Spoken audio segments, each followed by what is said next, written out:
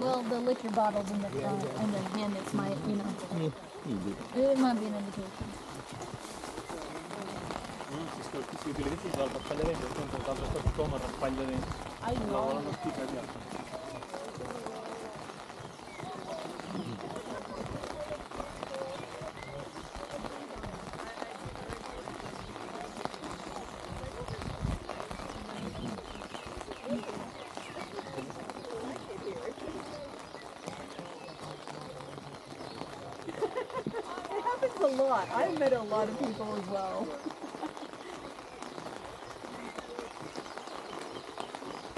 Que música